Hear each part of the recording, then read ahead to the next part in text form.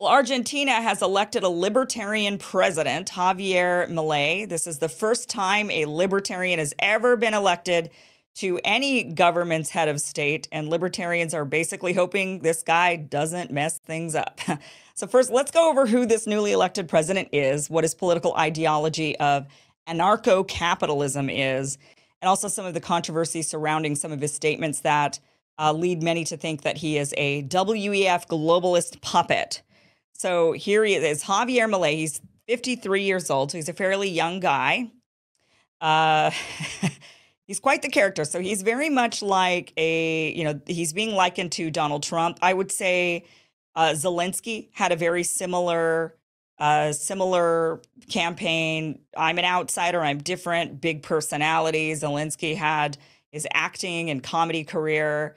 Uh, people are saying he's kind of like a Boris Johnson. So he, well, certainly with the hairstyle there, he's kind of similar.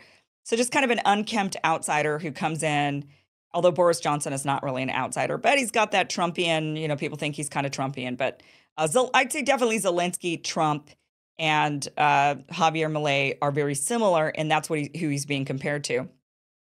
This is a tweet by Colin Rugg. I think this kind of sums up uh, the new president decently. It says, Meet Argentina's new president, Javier Milei. When he was growing up, kids called him the madman because of his energetic outbursts. At the age of 18, Milei, who was a soccer player, gave up the sport to pursue a career in economics. Milei uh, started getting famous for debates on live television where he would hurl insults at his rivals along with his madman energy. After a 2018 incident where Milei called a journalist a donkey, a local court ordered a psychological exam after he refused to apologize for gender violence. Milei hates wokeism. He hates socialism. He hates the media. He hates excessive government spending. He hates the political elite. And he loves his country. Legend is what Colin Ruggs says. Um, watch this video. Actually, what I'm going to do, we're going to kind of lower the volume of it, and I'm going to read what he's saying while he's saying it because of course he's speaking Spanish. So I'm going to translate it for you. But I want you to watch this video where he's talking about who he calls shit leftards. Here's the video. So he says, You can't give shit leftards an inch. Let's play his volume a little bit. You can define shit leftists, she asks. All collectivists, all kinds of collectivists. But why do you call them shit? Because they are. Because they are shit. If you think differently from them, they will kill you. This is the point. You can't give shit leftists an inch, he says. If you give them an inch, they will use it to destroy you. You can't negotiate with leftards. You don't negotiate with trash because they will end you. If if they the left have a guy that beats his wife off if it's one of them, he puts on the green scarf pro abortion and yells about neoliberalism all the time and they hide it. So, the double standard. If suddenly there's a journalist that molests another journalist, they hide it. When it's one of them, they hide it. So he's really going hard against. Says they hide all of their aberrations. Now, if you're on the other side, they will ruin you. They'll kill you. Wow. They will throw you everything. They don't care if they ruin your whole life. Why? Only because you don't think like them. And do you know what's the good part in all of this? Because it, uh, since it's air to be human, since everyone can be mistaken, they force us to be better. And since we're all, uh, since we are getting better, and since we're crushing them in the cultural battle, we're not only superior economically, so he's talking about conservatives, we are morally superior. We are aesthetically superior. We are better than them at everything, and that triggers them. Okay, so this gives you a taste of who this guy is. he's quite the character, and he's quite, um, you know, he, he's a very, uh, he really hates liberals. He hates leftists. So, uh, a little bit about his background. He's 53, born to a housewife and a bus driver. They're of Italian origin. For over 21 years, he's been a professor of macroeconomics, economics of growth, microeconomics, and mathematics for economics. So he's a professor. He also uh, worked on, he also became the chief economist at a private pension company, a head economist of a financial advising company, and a government consultant. He's also a member of the B20, the economic policy group of the International Chamber of Commerce. Uh, he's also an advisor to G20 and the or, or B20 is an advisor to G20, and he's also with the economic uh, the World Economic Forum. So he's the author of several books. He was the most interviewed econom- uh, economist on TV, and he hosts his own radio show called Demolishing Myths. So, what is anarcho capitalism? Uh, so he's a libertarian. He's an extreme libertarian. This is the first time a libertarian has been elected to government. So libertarians are hailing this guy. They're hoping. I've been seeing all over social media all the libertarians saying, please don't screw up. Please don't mess up. Show the world what libertarian policies are like. I'm quite curious myself because we've never seen this done. And I, it's hard to wrap my mind, for me personally, it's hard for me to wrap my mind around, around how exactly this would work, how well it would work. Let me tell you why. An anarcho capitalist is somebody who hates government. Uh, that's what the anarchy part is. Really wants to see the destruction of state, just hates statism. But they are pro capitalist, which means they want to capitalize and privatize everything. So, an, an, an anarcho capitalist does believe in the privatization of everything, and that includes policing that includes courts and that includes even the law. They would be happy to privatize all of it. And they say in their arguments that a lot of it is already privatized. They say many many companies, many places already hire private security. So security is already privatized. They say the courts are already privatized. When you are hired by a company or when you negotiate a deal, oftentimes there's an arbitration clause in it, meaning you don't go to the government courts, you instead have to hire a private arbitrator and you work it out with the arbitration. So that would be the privatization of courts. They also say that laws are also privatized. Companies will have their own rules and regulations, like what we see with social media, like what we see with credit card companies. And so much of this is already privatized. And so anarcho capitalists want all of it privatized. They just think that there should just be, we should just abolish everything that the government runs and instead allow everything to be privatized. Now, of course, many of us would say, like, I personally cannot afford private security.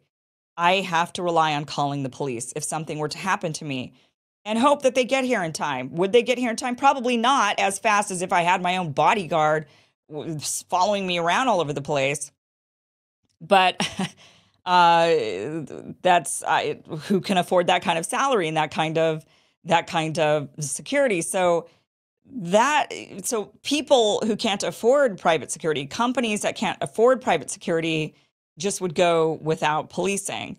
Same thing with the courts. Um, a lot of a lot of companies and a lot of people don't want to go to private arbitrators. They feel like a crime has been committed and they want to go to an actual court. They want to arbitrate or they want a, they want their court case to be taken to a jury rather than through private arbitration with an arbitrator um, laws can we count on social media to make the right laws? Or laws that instead uh, shepherd us to the group think that they want us to be shepherded into.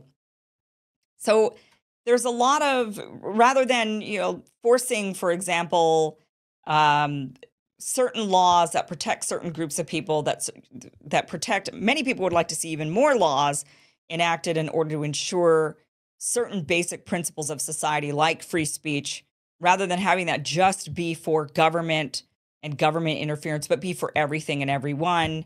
Some people would like to see that extended to private institutions and not just public institutions.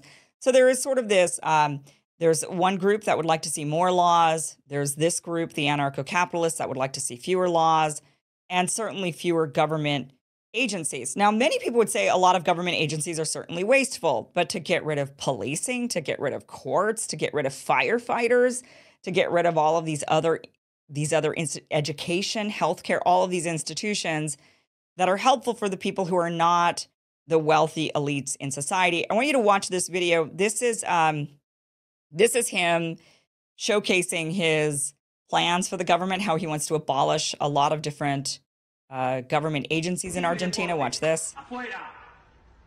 Ministerio de Cultura. Afuera. Ministerio de Ambiente y Desarrollo Sostenible. Afuera. Ministerio de las Mujeres y Género y Diversidad. Afuera. Ministerio de Obras Públicas. Afuera. Aunque te resistas. Ministerio de Ciencia y Tecnología e Innovación. Afuera. Ministerio de Trabajo, Empleo y Seguridad Social. Afuera. Ministerio de Educación. Adoctrinamiento. Afuera. Ministerio de Transporte. Afuera. Ministerio de Salud. Afuera. Ministerio de Desarrollo Social. Afuera. Se acabó el curro de la política. ¡Viva la libertad, carajo! Okay, so he wants to get rid of every single government agency, even the Department Education, uh, transportation, everything. So so privatization of everything. So imagine right now you can get on a city bus if you need to go somewhere. If your car breaks down, you can you can ride a city bus, not under anarcho-capitalists or just extreme libertarians. Um, and, and actually, a lot of these policies of anarcho-capitalists are mainstream libertarian. It's just that some liber- libertarians, you know, they're an interesting group because they all have their limits and they don't seem to fit into one bucket. Just like any other group, just like liberals, just like conservatives, there's a variety. There's a variety of conservatives. We see them infighting all the time. There's a variety of Democrats. We see the infighting all the time. And there's also a variety of libertarians. And they also have their own infighting. It's just that they haven't really had any power in order for anybody to really showcase that. It's usually within the right wing where they start where they battle it out with other conservatives. But within the libertarian movement, there's also lines that libertarians have. And some people don't even call him a full on libertarian because of some of his policies. For example, he is against abortion. He does not. Now, most libertarians say hands off, you live your life, you do what you want to do, that's all up to you. And he says no, he wants to completely um, get rid of abortion, even in the cases of rape and incest. He thinks that that needs to we that it doesn't matter. He um, so there's so there's that. He's also really pro what it looks like to be for American foreign wars, American foreign policy, which is also not a typical libertarian stance. Libertarians tend to be more um, isolationist. Let's just focus on ourselves. Don't worry about other people. Some things that really pique the interest of a lot of people and why he's gaining a lot of support and why he's going viral here in the United States is he does align with a lot of the conservative faction in the country that would love to see these policies in play and now they kind of get their chance with this guy in in office in Argentina. He's proposed the uh, the abolition of the Central Bank of Argentina. Now many people would love to see the Central Bank of the United States end, but though he does call for something similar, it would ultimately uh, result in a de facto dollarized economy. So they would end up just defaulting to the dollar. That is very different if we got rid of the central bank of the United States. Uh, so so it's a little bit different when he calls for the, the central bank of Argentina to be abolished. He's really calling for a dollarized economy of Argentina. He's also pledged not to raise taxes. He's also donated his own salary uh, to a monthly raffle. He doesn't need the money, he says. He strongly opposes abortion. I mentioned that even in the case of rape. He's he's um, he's actually suggested a referendum to reconsider the 2020 law, which is the voluntary interruption of pregnancy bill that legalized it. So he wants to make it illegal. He supports uh, freedom of choice, though, on other topics like drugs, prostitution, marriage, sexual preference, and gender identity. Uh, he criticizes comprehensive sex education in schools and says that it's a form of brainwashing. He expressed skepticism towards the COVID 19 vaccines, though he did get the vaccine. He just is against mandated vaccines, and he also was uh, skeptical of how quickly they were pumped out to the public. He does support uh, civ- civilian firearm ownership, or what we call the Second Amendment here in the United States. And he does, um, where he gets controversial is when it comes to the sale of human organs and even children. Um, he has been uh, not exactly clear on his stance on selling kids. Um, so, you know, an anarcho capitalist thinks that there should be no laws, no regulation although he he opposes abortion. So he clearly and he says the reason why he opposes abortion is because he's also against murder. So you can't so there would be some laws in his anarcho-capitalist world it wouldn't be completely privatized. Um, so he would be I it sounds to me that he would still keep murder as an illegal act. He categorizes abortion as murder, so that's why it would be an illegal act. Um, however, when it comes to selling like your body, that's why he says prostitution, it's okay. And selling your own organs is okay. And apparently selling children. Although he's now clarified that stance and said, no, okay, I don't know if I really agree with selling children. He's just been a little bit vague on that one. And that's a little bit strange for people and suspects. Certainly, I don't think you should be able to sell a child. Um, here is some of the the controversy. I want to show you some of these. Here's a tweet. This is Ben Norton. He wrote, and now Ben Norton's on the left. So, of course, anybody on the left is not going to like this guy because this guy is uh, a far, you know, he's on the right. He's libertarian, anarcho capitalist. So, if you're on the left, you're going to hate this guy naturally, normally. But here's Ben Norton. He writes Far right extremist Javier Milei won Argentina's presidential election. Milei wants to legalize the sale of children and human organs. Somewhat true. I mean, he's been vague on the sale of children. It's, it's true on human organs. Abolish public health care. That's true. Education. True. He wants to abolish that. And abolish transportation. That's true. He wants to get rid of city buses and city transport. Um, he wants to abandon monetary sovereignty. That's true because if Argentina gets rid of the central bank, then it would de facto dollarize their economy, so getting rid of Argentina's monetary sovereignty.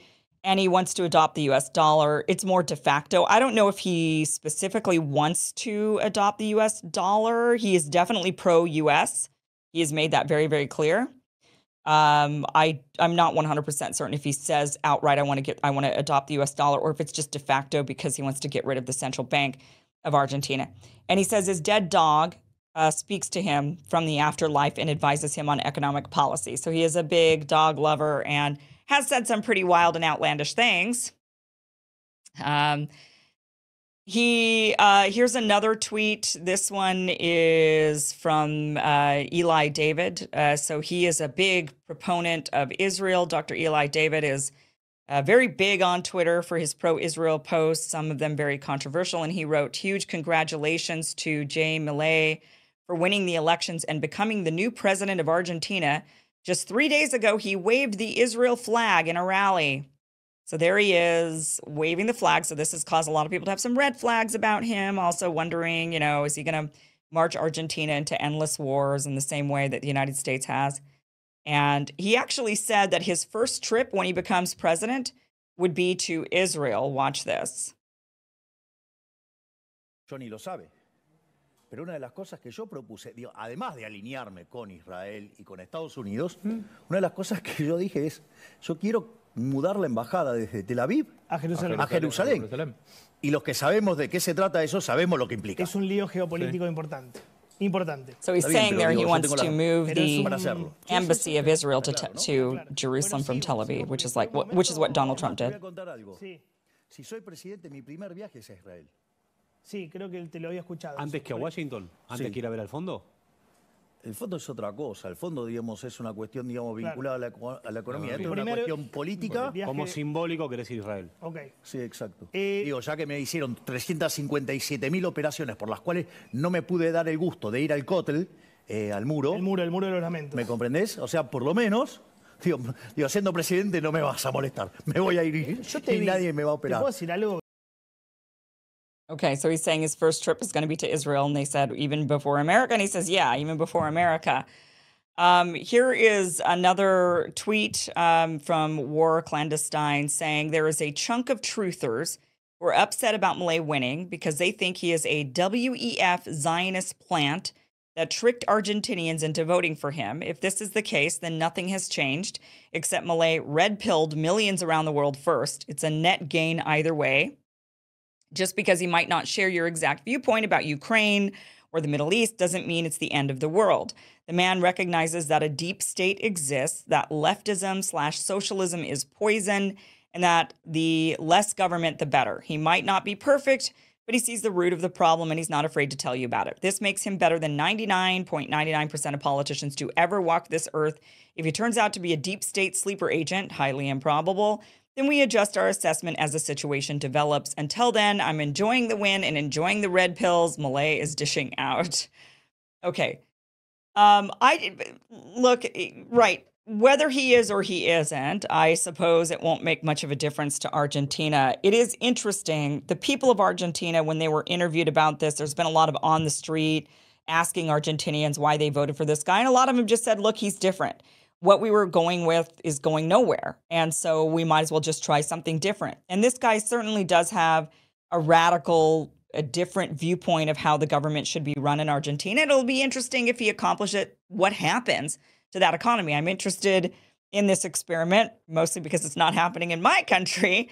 I would like to see it happen somewhere else to see how it goes. And then maybe that would actually, if it goes well, a lot of libertarians here in this country are hoping then that they would get their shot at running government, that it would be a boon to libertarianism. It could go either way. I'm interested in seeing how this goes. I do want to point out, though, when it comes to this, guys, he does remind me a lot of Zelensky.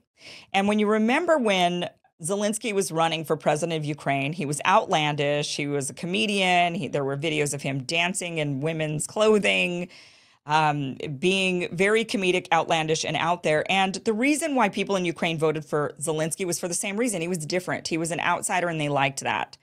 And when Zelensky ran for president, he was pro West. He said it I'm pro West. But people didn't believe that he would become a puppet for the West.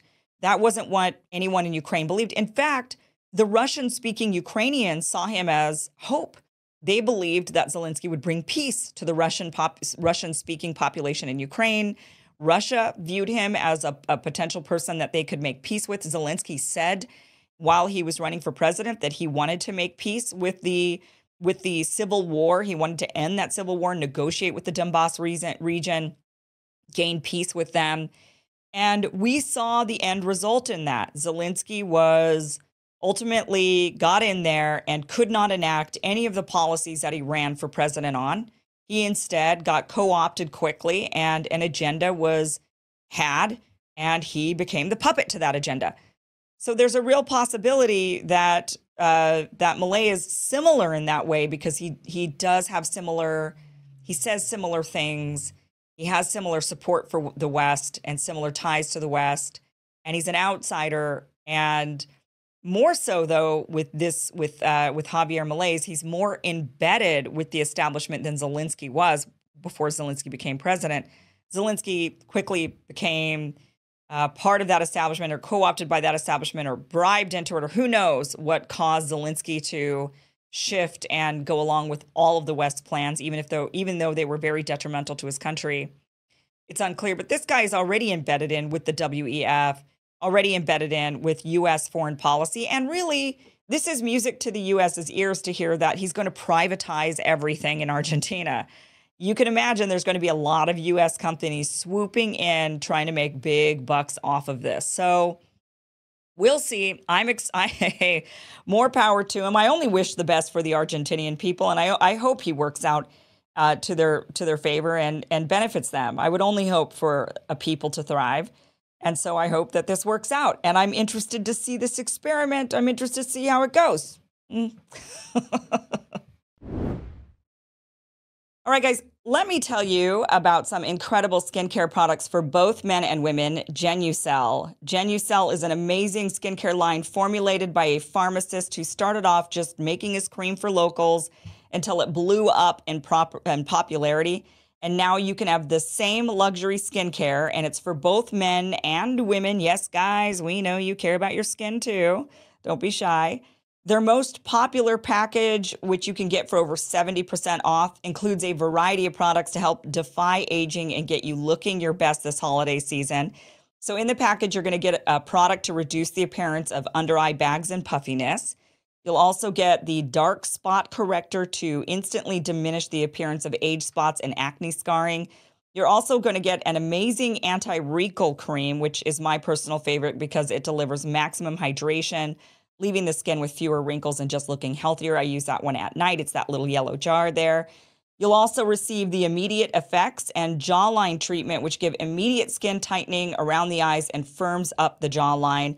And here's the Genucel amazing guarantee. You'll see results day one or your money back. So take advantage of the Genucel most popular package, all at about 70% off by going to genucel.com slash Kim to get your discount.